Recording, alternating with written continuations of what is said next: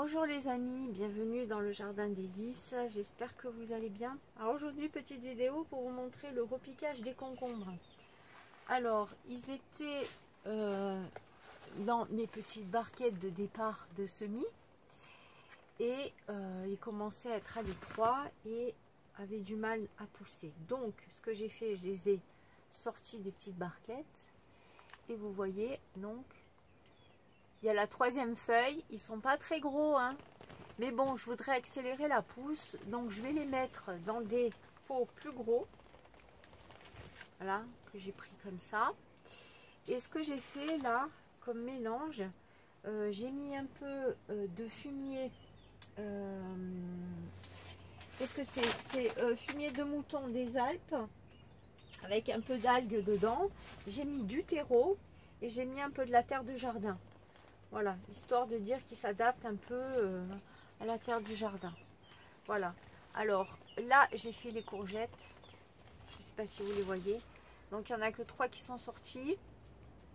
Euh, je pense que je vais en remettre trois autres à, démarrer pour avoir un lot de 6.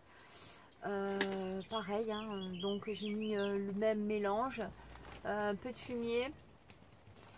Vraiment un quart de fumier euh, plus de terreau et un quart de terre et le reste du terreau. Ok. Donc voilà.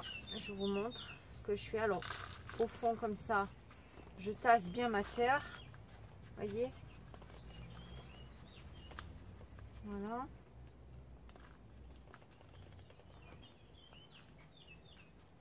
Et pour le semis en fait ce qu'il faut faire c'est le poser le positionner vous voyez euh, comme ceci de façon à ce que euh, la feuille, la tige, si vous voulez, le blanc de la tige soit quand même dans la terre.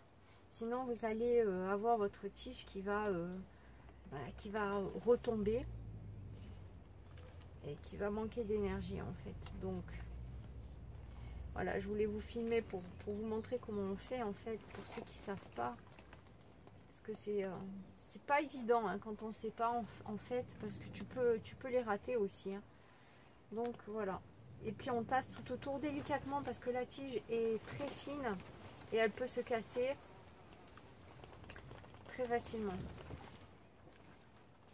Voilà. Comme ça, ils auront plus de nourriture. Et puis, euh, parce que là, il reste quoi? Il reste à, peu près euh, deux semaines. Hein. deux semaines pour qu'ils grossissent bien quand même. Donc, euh, vous voyez que là, on est le 18, le 19, on est le 19 avril. Donc euh, voilà, je compte deux semaines pour après pouvoir les mettre en terre, voire trois. Hein. Ok? Donc voilà. Et ça vous fait un petit pot comme ceci. Et vous voyez donc le blanc.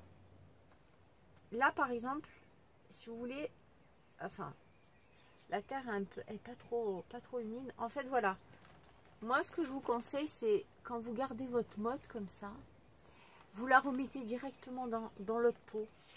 Vous remplissez tout autour et vous mettez votre euh, plan comme ça. Au moins, il ne bouge pas là. Vous voyez, au niveau de la tige, il ne bouge pas. Et vous avez la dimension qui correspond euh, parfaitement pour le rempoter. Voilà les amis, bah, écoutez, euh, je vais faire aussi pareil avec les tomates. Euh, je ferai une autre vidéo pour vous montrer les tomates, ok? Je vous dis à plus. Donc là, c'était le rempotage des euh, courgettes et des concombres. Je vous dis à plus tard pour une prochaine vidéo.